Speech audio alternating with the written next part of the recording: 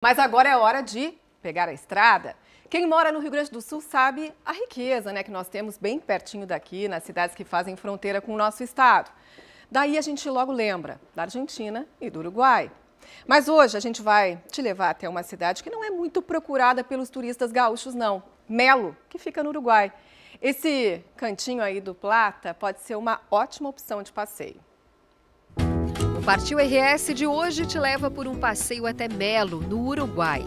No roteiro, compras, gastronomia, história e natureza, passando por duas cidades que têm o mesmo nome: Aceguá, no Brasil, e Aceguá, no Uruguai. Então, vem com a gente, partiu Melo!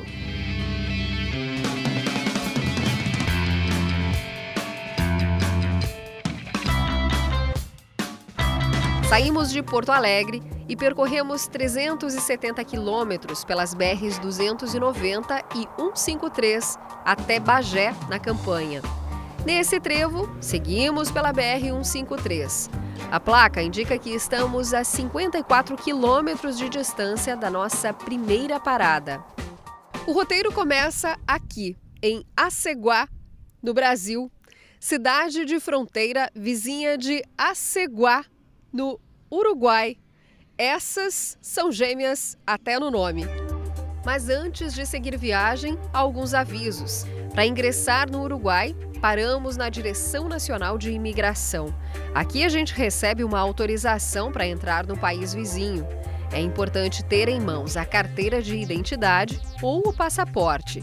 Para quem vai de carro, precisa dos documentos do veículo, além da carta verde, um seguro obrigatório. Hora de pegar a estrada de novo. Atravessando a linha imaginária que divide os dois países, encontramos uma das principais atrações de Aceguá, os free shops, lojas que vendem produtos importados livres de impostos.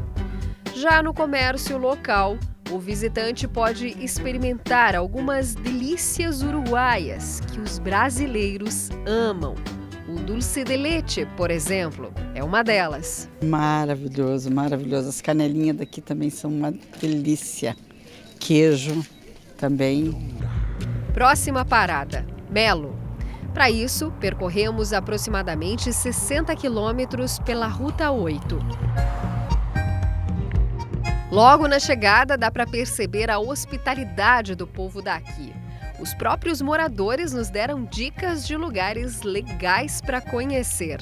O seu Milton é comerciante há mais de 40 anos na Praça Independência, lugar que recebe atrações ao ar livre. Estamos na esquina do tango da cidade de Melo. Quem passa por aqui nos meses de verão encontra dezenas de bailarinos se apresentando todos os domingos à tarde. As apresentações deste ano começam em outubro. Mais ou menos umas 50 parejas bailando e muita gente mirando. Uhum. Mais ou menos, às vezes há 500 pessoas sentadas mirando o espetáculo.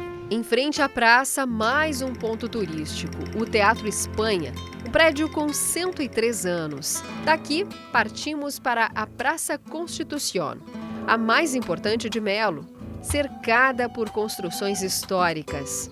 Bem no centro encontramos um monumento ao general José Artigas, considerado um herói nacional.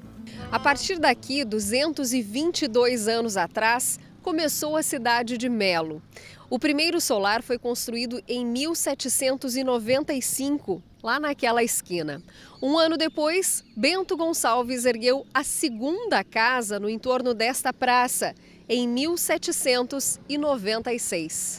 Nesse passeio pela história, nos surpreendemos com os detalhes das construções. Todos os prédios têm placas indicando quando foram construídos. Esse aqui mantém as grades de ferro trazidas da Espanha em 1796. Na outra esquina tem a Catedral de Nossa Senhora do Pilar e São Rafael onde o Papa João Paulo II foi recebido em 1988. Indo para o outro lado, vemos o prédio que já abrigou a terceira biblioteca mais importante do país há mais de um século. Na parte interna, uma bela surpresa. encontramos um vitrô colorido com peças originais, perfeitamente conservado. Seguimos percorrendo os prédios dessa região e chegamos até o Museu Histórico Regional, onde estão guardados fósseis e pedras datados de séculos passados. E por essas construções cheias de história, a gente também encontra um bom lugar para descansar. Uma opção de hospedagem em Melo é o primeiro solar construído por aqui, onde atualmente funciona uma pousada. O adiantado da hora e o cheiro das parrijas típicas uruguaias abrem o nosso apetite. Então, vamos a um pequeno intervalo para recarregar as baterias. Seguimos viagem por mais 12 quilômetros até a Posta del Chuí, um lugar lindo que reúne uma ponte de pedras construída em 1855, uma casa que já serviu de hospedaria e um curral.